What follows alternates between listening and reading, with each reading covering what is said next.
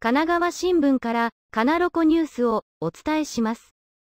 任期満了に伴う小田原市長選は19日、投開票され、市長を3期務めた元職の加藤健一氏が再選を目指す現職の森谷照彦氏と新人で元会社員の古川徹氏を破り、帰り咲きで4選を果たしました。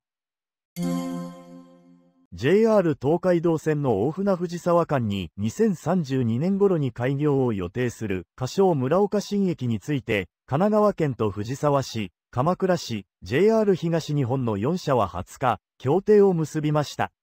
今年の秋頃に着工します。横浜市の教職員による児童、生徒への性犯罪事件の公判で、市教育委員会が多数の職員を法廷に動員していたことが分かりました。第三者の傍聴を妨げていたと謝罪しました。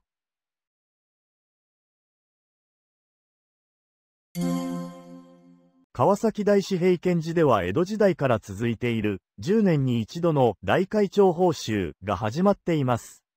5月末までの期間中は、様々な法要が執り行われます。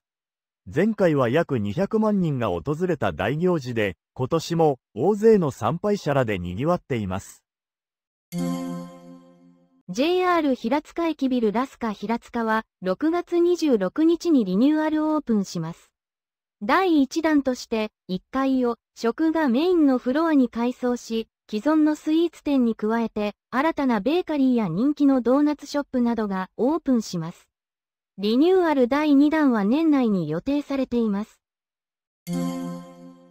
JR 東海は24日、川崎市にあるリニア中央新幹線第一首都圏トンネルの梶ヶ谷工区で本格的な屈伸を27日から始めると発表しました。今回の工事の範囲は、宮前区梶ヶ谷と麻生区東百合ヶ丘の間の約7.5キロです。